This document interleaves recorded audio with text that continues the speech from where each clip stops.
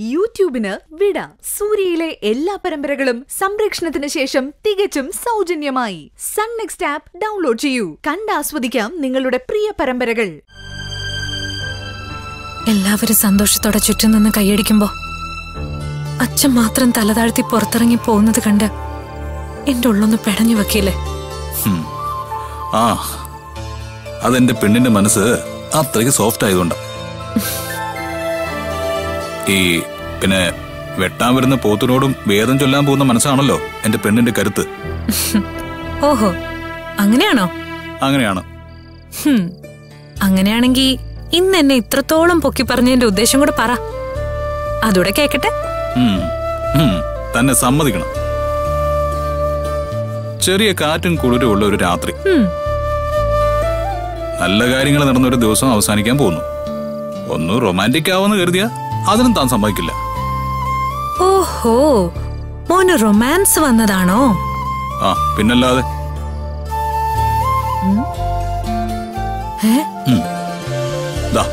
നോക്ക്. ഇതിനകത്തൂടെയാണോ റൊമാൻസ് വരുന്നേ? സംശയമുണ്ടോ?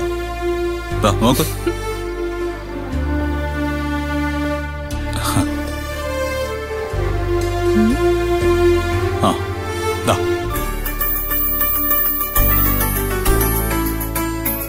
മല്ലികപ്പൂവിൻ മധുരഗന്ധം. മന്ദസ്മിതം പോലും ഒരു വസന്തം.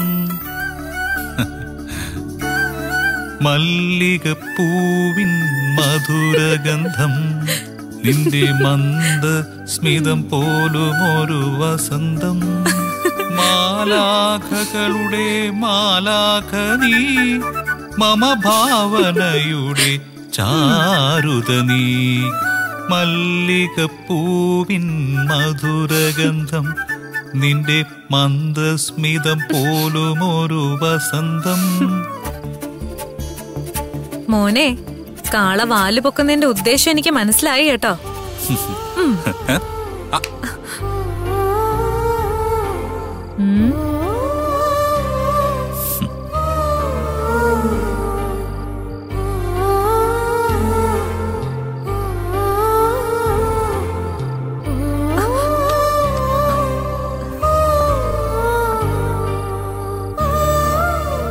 നമ്മൾ രണ്ടുപേരും ഭാഗ്യം ചെയ്തു തരാം അല്ലെ?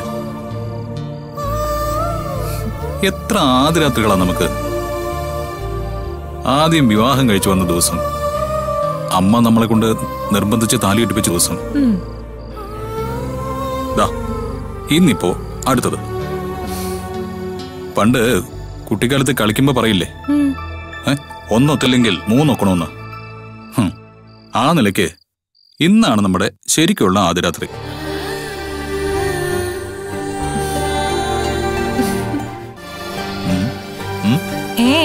എങ്ങനെ. വേണ്ട? വേണ്ട വേണ്ട വേണ്ട.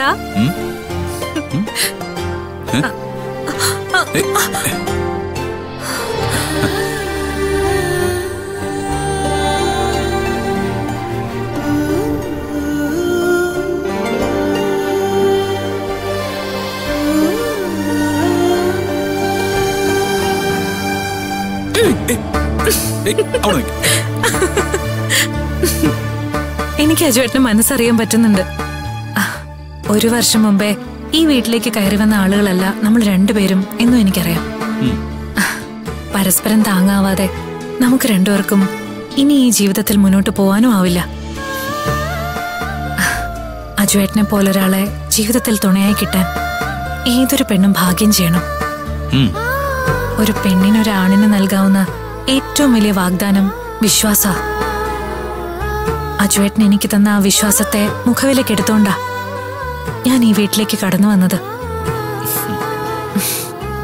ഒരു വർഷം അജുവേട്ടൻ എന്നോട് ആ വിശ്വാസം കാണിച്ചു. വാക്കുകൊണ്ടോ നോട്ടം കൊണ്ടോ പോലും അജുവേട്ടൻ എന്നോട് അതിരുവിട്ട് പെരുമാറിയിട്ടില്ല. ഈ വീട്ടിൽ ഒരു മുറിയിൽ ഭാര്യയും ഭർത്താവുമായി ഒരു വർഷം ജീവിച്ചോളാം എന്ന കരാറിൽ ഒപ്പുവെക്കുമ്പോ നമ്മളൊരിക്കലും മനസ്സുകൊണ്ട് ഇങ്ങനെ ആയിത്തീരുന്ന് ഞാൻ കരുതിയില്ല. അത് ഈശ്വരന്മാരുടെ നിശ്ചയ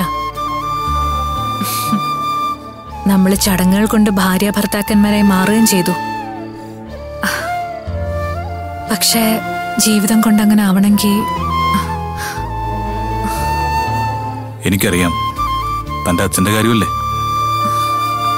അതെനിക്കറിയാം. വിശ്വനാഥൻ സാറിനെ പൂർണമായിട്ടും കുറ്റവിമുക്തനാക്കി. തന്റെ മുമ്പിൽ എന്ന് നിർത്തുന്നുവോ? അന്നേ നമ്മൾ രണ്ടുപേരുമുള്ള ജീവിതത്തിൽ ഞാൻ തന്റെ മുമ്പിൽ ഭർത്താവ് എന്ന മട്ടിൽ വന്ന് നിൽക്കൂ. അതുവരെ ഒരവകാശവും ഞാൻ ഉന്നയിക്കില്ല. അത് ചെയ്യാം.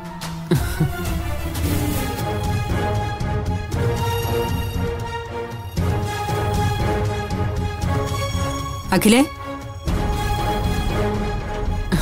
നല്ല നേരത്താ നീ വന്നത്. നീങ്ങി വന്നേ.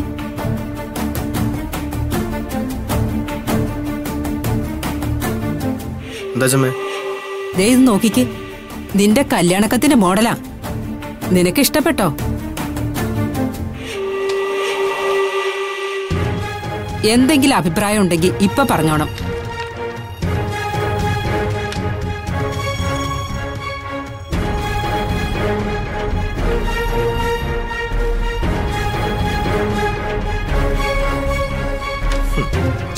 ഈ കവർ വേണ്ട. കാർഡ് മാത്രം മതി. പിന്നെ ഇത്ര വലിപ്പമൊന്നും വേണ്ട. ഒരു പോസ്റ്റ് കാർഡിന്റെ സൈസ് മതി. കാർഡിന്റെ അകത്ത് വെള്ളയായിരിക്കണം. അതിൽ ഈ കറുത്ത ലെറ്റേഴ്സ് ഉപയോഗിക്കണം. ഇനി മനസ്സിലായില്ലേ? ഈ മരിച്ച് പതിനാറ് അടിയന്തിരത്തിന് വിളിക്കത്തില്ലേ? ആ ആ ഡെക്കറേഷൻ തന്നെ ധാരാളം മതി.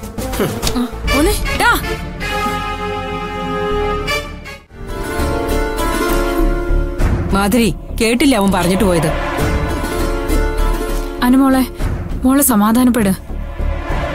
മോളെ ഇങ്ങനെ കരയല്ലേ? അവൾ പിന്നെ എന്താ വേണ്ടത്? ഒരിക്കൽ മണ്ഡപത്തിൽ വെച്ചേ നിന്റെ മൂത്ത മോൻ ഇവളുടെ കണ്ണീര് വീഴ്ത്തിയതാ.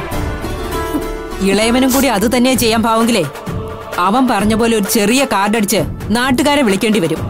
എന്റെ അടിയന്തര കൂട്ടാൻ യോ അത് മറക്കണ്ട. അമ്മേ.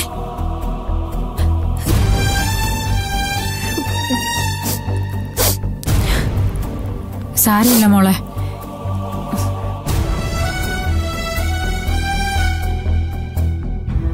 നീ എന്തിനാ അഖില അങ്ങനെയൊക്കെ പറയാൻ പോയത്?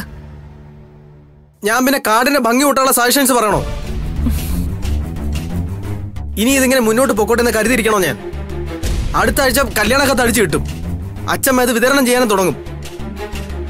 പിന്നെ അത് കുടുംബത്തിന്റെ അഭിമാന പ്രശ്നമായിട്ട് മാറും. അവസാനം തറവാടിന്റെ മാനം കാക്കണമെന്ന് പറഞ്ഞുകൊണ്ട് എല്ലാരും കൂടെ എന്നെ അങ്ങ് നിർബന്ധിക്കും. ഞാൻ അവളുടെ അടുത്ത് താലി കെട്ടേണ്ടി വരും. അങ്ങനൊന്നും സംഭവിക്കില്ല. നീ ഒന്ന് വെയിറ്റ് ചെയ്യ്. ഇനിയും നല്ലതേ വരുമെന്നും പറഞ്ഞുകൊണ്ട് കാത്തിരിക്കുക എന്നെ കൊണ്ട് വയ്യ. അത് വെറും വിഡ്ഢിത്വ നിങ്ങളുടെയൊക്കെ കാര്യം കഴിഞ്ഞല്ലോ. എന്റെ കാര്യം എങ്ങനെയായാലും നിങ്ങൾക്ക് എന്താ അഖിലെ അങ്ങനൊന്നും ചിന്തിക്കണ്ട. അജുവേട്ടൻ എന്തൊക്കെയോ പ്ലാൻ ചെയ്യുന്നുണ്ട്. എന്നിട്ട് ഇതുവരെ എന്തെങ്കിലും നടന്നു ചേച്ചി?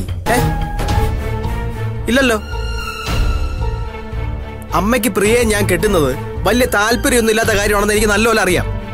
എന്നിട്ട് എന്തെങ്കിലും ചെയ്യാൻ പറ്റുമോ? അതുപോലെ നിങ്ങളും അവസാനം കൈമലത്തും.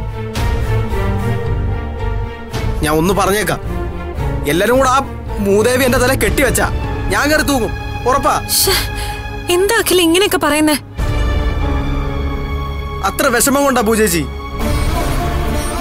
എന്റെ അച്ഛനെ അമ്മയെ മറികടന്ന് ഒന്നും ചെയ്യാനാവത്തില്ല. പക്ഷെ പൂജേച്ചിക്ക് അങ്ങനല്ല. അതാ ഞാൻ നിങ്ങളുടെ അടുത്തൊക്കെ പറയുന്നേ. ഞാൻ ഇവിടുത്തെ കാര്യങ്ങളൊക്കെ സ്നേഹം വിളിച്ച് പറയാൻ പോവാ. എന്തെങ്കിലും കടുത്ത തീരുമാനങ്ങൾ ഞങ്ങൾക്ക് എടുക്കേണ്ടി വന്നാ. പൂജേച്ചി അർജുനന്റെ കൂടെ ഉണ്ടായിരിക്കണം. ആ. പറഞ്ഞില്ല എന്ന് വേണ്ട അ- അല്ല അഖിലെ.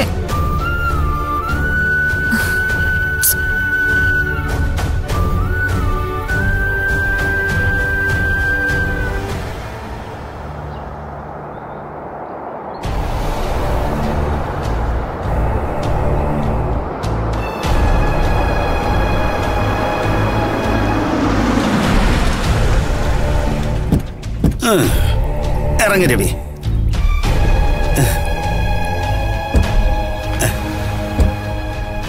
ഇതാണോ പ്രോപ്പർട്ടി? ഇതും ഒരു പ്രോപ്പർട്ടി തന്നെടേ. തമ്പാ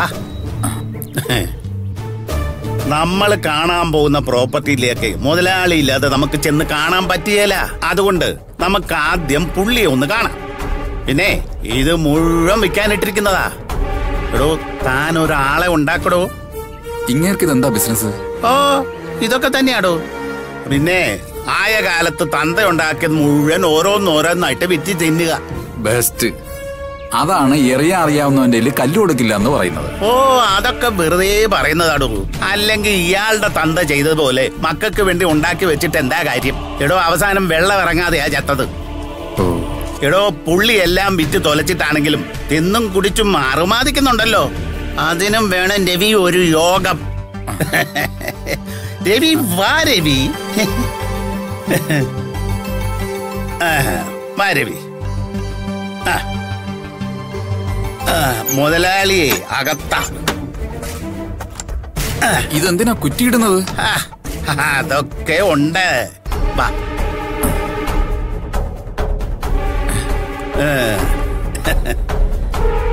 രവി ഇങ്ങ വാ. ഇങ്ങോട്ട് വാ. നിന്റെ ഈ സംസാരത്തിൽ നിന്ന് തന്നെ അറിയാലോ ആന്റി നിന്റെ ആരുമല്ലെന്ന്. സ്വന്തം അമ്മയെക്കുറിച്ച് സംസാരിക്കുമ്പോൾ ഏതൊരാൾക്കും ഉണ്ടാവുന്ന ഒരു ഇമോഷണൽ ബോണ്ടുണ്ട് ഒരിക്കൽ പോലും അരുണുവേന്റെ കുറിച്ച് പറയുമ്പോൾ നീ അത് കാണിച്ചിട്ടില്ല. നിന്റെ ആരുമല്ലാത്ത ഒരാളെ അമ്മയുടെ സ്ഥാനത്ത് പ്രതിഷ്ഠിക്കാൻ നീ നടത്തുന്ന കഷ്ടപ്പാട് ഞങ്ങൾക്ക് മനസ്സിലാവുന്നില്ലെന്നാണോ നീ വിചാരിച്ചത് ഉവ അത് സ്ഥാപിക്കാൻ ഭാര്യയും ഭർത്താവും കൂടെ ഒരുപാട് കഷ്ടപ്പെടുന്നുണ്ടെന്ന് എനിക്കറിയാം. ഉണ്ട്. ഒരുപാട് ശ്രമിക്കുന്നുണ്ട്. കുറച്ച് ബുദ്ധിമുട്ടിയാലേ നിന്നെ പോലെ ചുറ്റിപ്പിണഞ്ഞു കിടക്കുന്ന ഒരു വിഷപ്പാമ്പിനെ അടർത്തി മാറ്റാൻ പറ്റുമെന്ന് ഞങ്ങൾക്ക് നന്നായിട്ട് അറിയാം അതെ ഞാൻ വിഷപ്പാമ്പ് തന്നെയാ. പക്ഷേ ആ വിഷം ഇല്ലാണ്ടാക്കാൻ കെട്ടിയവനും കെട്ടിയവളും കൂടി എത്ര ശ്രമിച്ചാലും നടക്കാൻ പോകുന്നില്ല. നമുക്ക് നോക്കാം പ്രിയെ. നോക്കാം. തൽക്കാലം ഈ ജ്യൂസ് ഞാനങ്ങ് എടുക്കുക ആ. ഇതേ ഞാൻ കുടിക്കാൻ പോവാ. ഫ്രിഡ്ജിൽ ഫ്രൂട്ട്സ് ഇരിപ്പുണ്ട്. സ്വന്തം അമ്മയല്ലേ നീ തന്നെ അടുത്തങ്ങ് ഉണ്ടാക്കും. എന്തേ? പൊയ്യേ. ഇതത്ര ബുദ്ധിമുട്ടുള്ള പണിയൊന്നുമല്ല. അങ്ങനെ എന്നെ പണിയെടുപ്പിക്കാൻ നിങ്ങൾ അങ്ങ് നോക്കണ്ട. എനിക്ക് സൗകര്യമുള്ളപ്പോ ഞാൻ ചെയ്തോളാം. അങ്ങനെ അങ്ങ് പോയാലോ? ഇതും കൂടെ കേട്ടിട്ട് പോ. നീ വിചാരിക്കുന്ന ഒന്നും നടക്കാൻ പോകുന്നില്ല. ഞങ്ങളെ തമ്മിൽ പിരിക്കാൻ നീ ഒരുപാട് ശ്രമിച്ചതല്ലേ?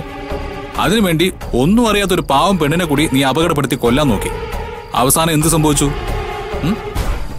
ഇനി അഖിലിന്റെ ഭാര്യയായിട്ട് വന്ന് ഈ കുടുംബത്തിൽ കുത്തിത്തിരിപ്പ് ഉണ്ടാക്കാമെന്നാണെങ്കിൽ അതും നടക്കാൻ പോകുന്നില്ല. നമുക്ക് കാണാം. ആ കാണാനൊന്നുമില്ലെന്നേ. ഒരിക്കൽ കല്യാണത്തിന് തയ്യാറായി മന്ത്രകോടിയൊക്കെ എടുത്ത് മണ്ഡപത്തിൽ ഇരുന്നത് പോലെ ഒരിക്കൽ കൂടി അങ്ങ് ഇരിക്കാം. കണ്ണീരോടെ എഴുന്നേറ്റ് പോവാം.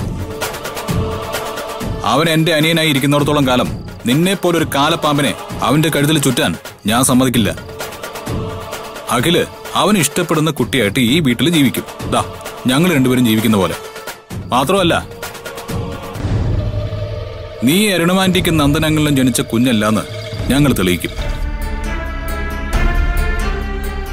D N A certificate negative ആക്കാൻ നീ നടത്തിയ കളികൾ മുഴുവൻ ഞങ്ങൾ പുറത്തു കൊണ്ടുവരും. കള്ളമൊഴി കൊടുത്ത് ഇത്രയും കാലം വളർത്തി വലുതാക്കിയ വിശ്വനാഥൻ സാറിനെ നീ ജയിലിലാക്കിയത് എങ്ങനെയാണെന്ന് നാട് മുഴുവനും അറിയും. നിനക്ക് പങ്കുള്ള എല്ലാ ക്രൈമും കോടതി മുമ്പാകെ വരും. അതോടെ ഇപ്പൊ ചേർത്ത് പിടിച്ചിരിക്കുന്ന എല്ലാവരും പുഴുത്ത പട്ടിയെപ്പോലെ നിന്നെ തല്ലി ഓടിക്കും. അഭയം തരാൻ നിനക്ക് പാറവിള പവിത്രം പോലും ഉണ്ടാവില്ല. ചെല്ല്. പകരം എന്താ ചെയ്യാൻ കഴിയാന്ന് ഉറങ്ങാതെ കിടന്ന് ആലോചിക്കും.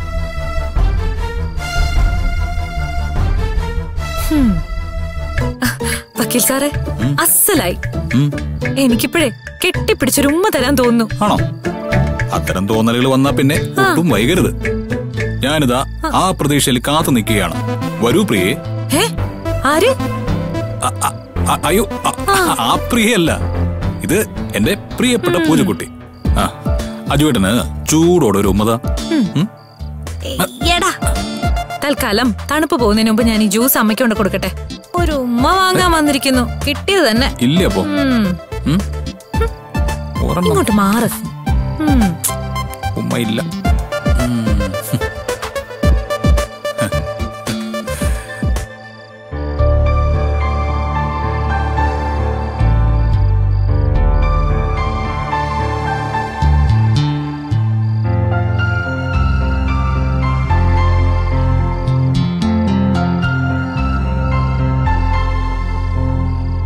മുത്തശ്ശി. എന്താ മോളെ? ഒന്ന് വന്നേ.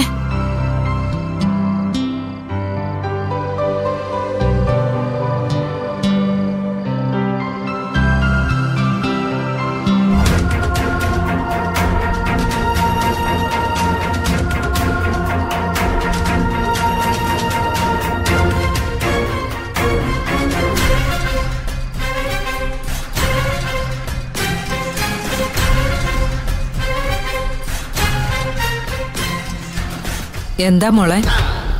എനിക്ക് മതിയായിട്ട് മുത്തശ്ശി. എന്തിനാണ് എന്നെ ഇങ്ങനെ പരിഹസിക്കുകയും കുത്തി നോവിക്കുകയൊക്കെ ചെയ്യുന്നത്? എനിക്കങ്ങ് ചത്താ മതിയെന്ന് തോന്നുക. അയ്യോ മോളെ പ്രാർത്ഥിച്ചിട്ട് ഉറങ്ങാൻ പോകുന്ന നേരത്ത് ഇങ്ങനെയൊന്നും പറയല്ലേ? ആരോട് സങ്കടം പറയാനാവാത്ത അവസ്ഥയിൽ ഞാൻ വരെ എന്താ പറയണ്ട മുത്തശ്ശി? മോക്ക് എന്ത് സങ്കടം ഇപ്പൊ ഉള്ളത്? അത് കേക്കാൻ ആരുമില്ലെന്ന് ആരാ പറഞ്ഞത്? മുത്തശ്ശിയോട് പറ എന്താ മോക്ക് സങ്കടം?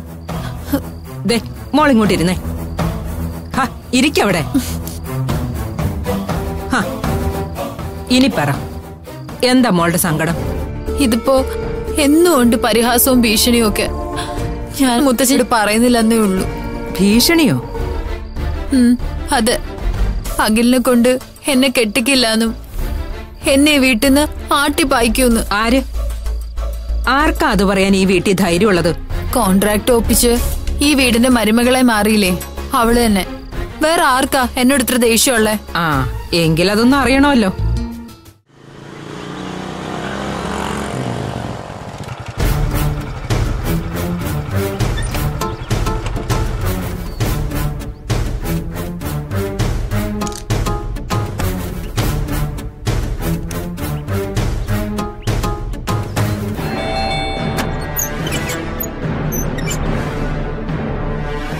ആ വക്കീൽ സാറേ. ഞാൻ ഓഫീസിൽ പോയിരുന്നു. എന്താടോ? ആരായി പ്രിയ? എന്റെ മോൾ. എന്താ? അല്ല ഒരു സമൻസ് ഉണ്ടായിരുന്നു. സമൻസോ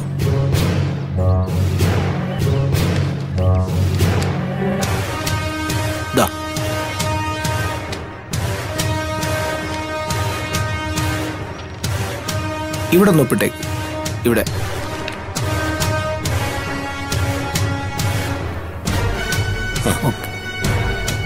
ശരി എന്നാ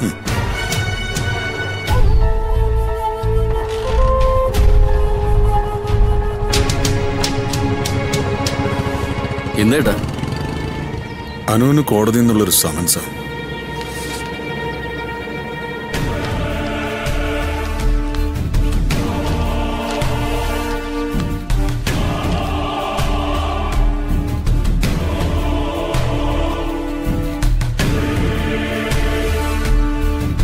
എന്താ ഏട്ടാ ഇത്?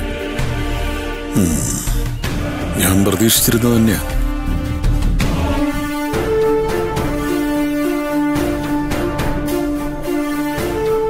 കഴിഞ്ഞ കുറെ ദിവസമായി തേജ കേസ് അനങ്ങാതെ കിടക്കുകയാണല്ലോ. വിശ്വനാഥനെ പ്രതി ചേർക്കാൻ കാരണമായ അനുവിന്റെ ദൃക്സാക്ഷി മൊഴി അവിശ്വസനീയമാണെന്നും കൃത്യമായ തെളിവുകൾ പരിഗണിക്കാതെയാണ് ജാമ്യം അനുവദിക്കാതെ ജയിലിൽ കിടത്തിയിരിക്കുന്നതെന്നും അർജുൻ ഒരു റിട്ട് ഫയൽ ചെയ്തിരുന്നു. അതിന്റെ മുകളിൽ പുതിയ എസ് പിയോട് കേസ് വിശദമായി അന്വേഷിച്ച് റിപ്പോർട്ട് നൽകാൻ കോടതി ഉത്തരവിട്ടതുമാണ്. റിപ്പോർട്ടിന് മുകളിൽ അനുവിന് വീണ്ടും സമൻസ് വന്നിരിക്കുകയാണോ? കോടതി കേസ് വീണ്ടും റീഓപ്പൺ ചെയ്യാൻ പോകുന്നു. അതായത് അർജുൻ വീണ്ടും അനുവിനെ കൂട്ടിൽ കെട്ടി വിസ്തരിക്കാൻ പോവുകയാണോ? അതുകൊണ്ടെന്ത്? വിസ്തരിക്കട്ടെ? രണ്ടു പ്രാവശ്യം വിസ്തരിച്ചിട്ട് എന്ത് സംഭവിച്ചു? ഒന്നും സംഭവിച്ചില്ലല്ലോ. ഏട്ടൻ എന്തൊക്കെയായി പറയുന്നേ? അതുപോലല്ലോ ഇനിയുള്ള വാദം. എന്താടാ അതിന് കുഴപ്പം? അനുക്കുട്ടി കണ്ണുകൊണ്ട് കണ്ട ഒരു കൊലപാതകം. കോടതിയിൽ അവൾ സത്യം മാത്രമേ പറഞ്ഞിട്ടുള്ളൂ. വേറെ എന്തൊക്കെ തെളിവുകൾ അർജുൻ ഹാജരാക്കിയാലും അനു കണ്ട സത്യം അതല്ലെന്ന് തെളിയിക്കാൻ പറ്റില്ലല്ലോ. എന്നാ ഹിയറിംഗ് അടുത്ത മാസം പത്തൊമ്പതിന്. ഏട്ടാ ഇതിൽ എന്തോ കളിയുണ്ടെന്നാ എനിക്ക് തോന്നുന്നത് അരുണിമേട്ടത്തെയും പൂജയും തമ്മിലുള്ള അടുപ്പം കൂടിക്കൂടി വരികയാണെന്ന് അറിയാലോ. ഈ സമയത്ത് ഇങ്ങനെ ഒരു കേസ് റീഓപ്പൺ ചെയ്താൽ അത് വെറുതെ ആവില്ലെന്ന് ചേട്ടന് ഊഹിക്കാലോ. ആ അർജുൻ അനുവിനെതിരെ എന്തെങ്കിലും കള്ളത്തെളിവുണ്ടാക്കിയിരിക്കും. അത് വെച്ച് അനു പറഞ്ഞത് നുണയാണെന്ന് തെളിയിക്കാനായിരിക്കും അവന്റെ ശ്രമം. എന്ത് കള്ളത്തെളിവിനും ഒരു ആധാരം ഉണ്ടായിരിക്കണം. എന്റെ മകൾ കണ്ണുകൊണ്ട് കണ്ട സത്യം നുണയാണെന്ന് തെളിയിക്കാൻ അവൻ എന്ത് തെളിവുകൾ ഹാജരാക്കിയാലും അത് മറികടക്കാൻ എനിക്ക് ഒരൊറ്റ ട്രയൽ മാത്രം മതി. കാരണം നന്ദഗോപന്റെ ആയുധം സത്യമാണ്. ഞാൻ ഏട്ടനെ നിരുത്സാഹപ്പെടുത്തുന്നൊന്നുമല്ല. പക്ഷെ സത്യത്തെക്കാൾ കൂടുതൽ കോടതി അവൻ നിരത്തുന്ന നുണകൾക്ക് വില കൽപ്പിച്ചാൽ എന്റെ ഏട്ടന് അനുമോളെ രക്ഷിച്ചെടുക്കാൻ കഴിഞ്ഞു എന്ന് വരില്ല. അനുവിനെ അപകടത്തിലാക്കിയാൽ തകരാൻ പോകുന്നത് ഏട്ടന്റെ അന്തസ് കൂടിയാണെന്ന് അർജുൻ അറിയാം. അത് മാത്രമല്ല അഖിലുമായിട്ടുള്ള വിവാഹം മുടക്കാൻ അർജുൻ എന്തു വഴിയും സ്വീകരിക്കും. ഏട്ടാ ഇതത്ര നിസ്സാരമായിട്ട് എടുക്കരുത്. ഇത് അർജുൻ മനഃപൂർവം ചെയ്യുന്ന ഒരു നാടകമാ. ഇതിൽ പെടാതെ നോക്കാനാണ് ഏട്ടൻ ശ്രമിക്കേണ്ടത്. ദൈവത്തിന്റെ കാരുണ്യം കൊണ്ട് അരുണിമ ചേച്ചി നമുക്ക് വേണ്ടി കിട്ടിയിരിക്കുന്ന സമയമല്ലേ? ഈ സമയത്ത് കോടതി കേസും ഒക്കെ ഒഴിവാക്കായിരുന്നു. കേട്ടില്ല ഏട്ടാ. ആതിരയ്ക്ക് പോലും ആ കോമൺ സെൻസ് ഉണ്ട്. സത്യത്തിൽ അതാ ചെയ്യേണ്ടിയിരുന്നത്. പക്ഷേ അവരുടെ ലക്ഷ്യം വിജയിക്കണമെങ്കിൽ അത് നടക്കില്ലല്ലോ. ഏട്ട നോക്കിക്കോ. അവൻ എങ്ങനെയെങ്കിലും അനുവിനെ ജയിലിലാക്കും. പൂജയെ കൊണ്ട് അരുണിമേട്ടത്തിയുടെ മകളാണെന്ന് സ്ഥാപിക്കും. ഇത് വലിയ ട്രാപ്പാണ് ഏട്ടാ. നീ എന്നെ ഒരുപാട് ടെൻഷൻ അടിപ്പിക്കാൻ നോക്കല്ലേ ശങ്കറെ? എന്താണ് വേണ്ടതെന്നും ഞാൻ സ്വസ്ഥമായിട്ടൊന്ന് ആലോചിക്കട്ടെ.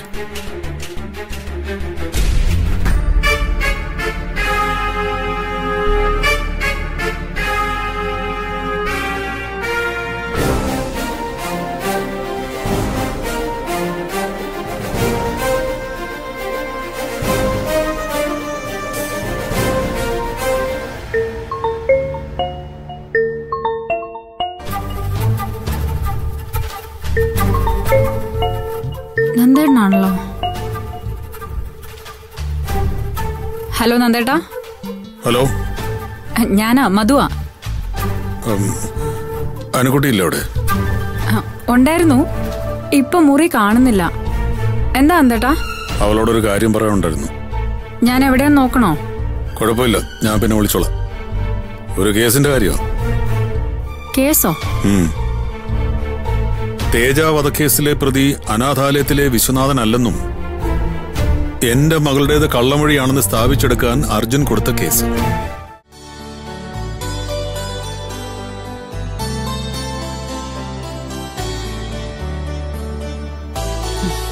എന്താ അർജുൻ?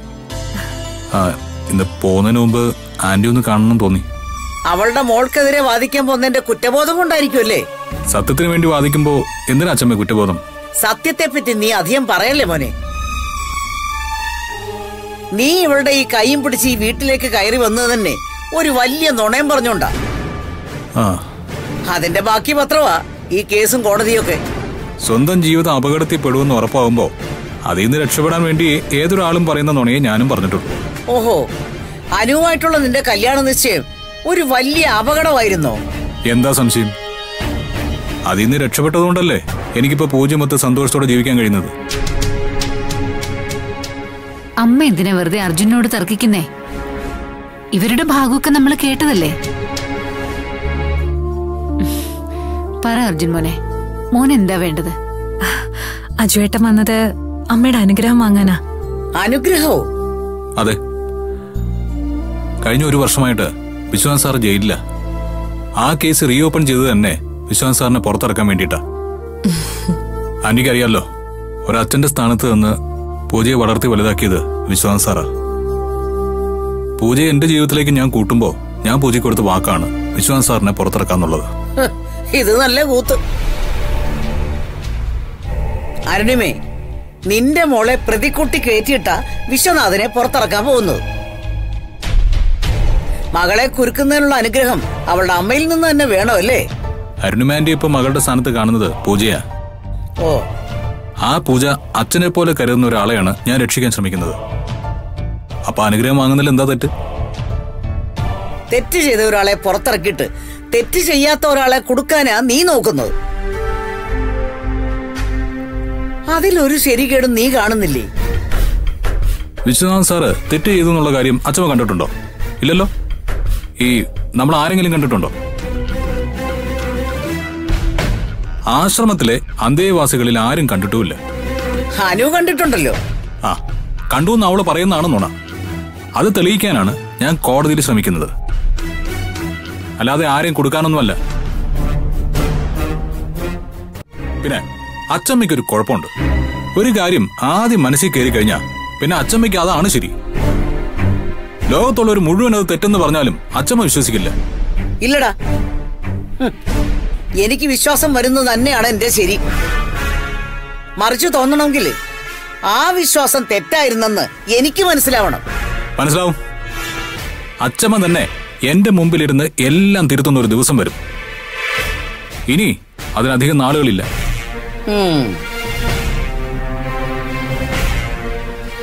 ആന്റി ഞാൻ തർക്കിക്കാൻ നിൽക്കുന്നില്ല. ഞാൻ പോട്ടെ.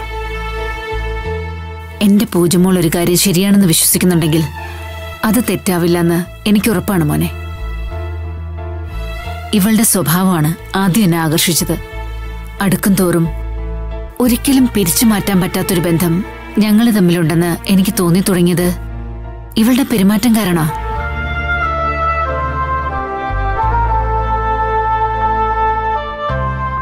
ആ സ്വഭാവവും പെരുമാറ്റവും ഇവൾക്കുണ്ടായത് വളർത്തിയതിന്റെ ഗുണം കൊണ്ടുകൂടിയാ. മോളിങ്ങനെയാണെങ്കിൽ മോളെ വളർത്തിയ വിശ്വനാഥൻ സാറ് മറ്റൊരു തരത്തിലാവില്ല.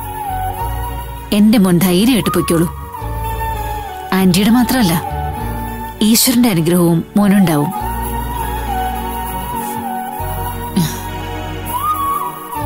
മോനെ.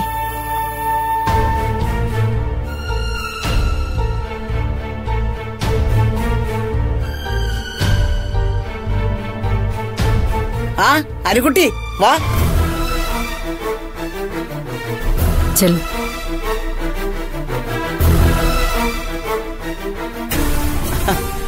വാ മോളെ. മനസ്സ് തൊട്ട് അനുഗ്രഹിക്കേണ്ടത് സത്യത്തിൽ ഇവളെയാണ് മോളെ. ഞാൻ കോടതിയിൽ പറഞ്ഞത് എന്റെ കണ്ണുകൊണ്ട് കണ്ട കാര്യങ്ങൾ മാത്രമാണ്. അത് തെറ്റാണെന്ന് തെളിയിക്കാൻ ആര് ശ്രമിച്ചാലും അത് തെറ്റാവാൻ പോകുന്നില്ല. വിധി പറയേണ്ടതേ അച്ചമ്മയോ ഇവിടെയുള്ള ആളുകളോ ആരുമല്ല. കോടതിയാ. അമ്മ എങ്ങനെയാണ് എന്നെ മനസ്സുകൊണ്ട് കാണുന്നതെന്ന് എനിക്കറിയില്ല. പക്ഷെ എത്ര അവഗണിച്ചാലും ദേഷ്യപ്പെട്ടാലും അമ്മയുടെ കാൽക്കീഴിൽ നിന്ന് ഞാൻ മാറില്ല. എനിക്ക് ചൂണ്ടിക്കാണിക്കാൻ വേറൊരാൾ അമ്മയുടെ സ്ഥാനത്തില്ല. സത്യത്തിനൊപ്പമാണ് ദൈവം എന്നാ ഞാൻ പഠിച്ചത്. ഈ ലോകത്തെ മുഴുവൻ ദൈവങ്ങളും പ്രപഞ്ചവും എന്റെ കൂടെ ഉണ്ടാവും. എങ്കിലും കാണപ്പെട്ട ദൈവമാണല്ലോ അമ്മ. അമ്മ എന്നെ അനുഗ്രഹിക്കണം.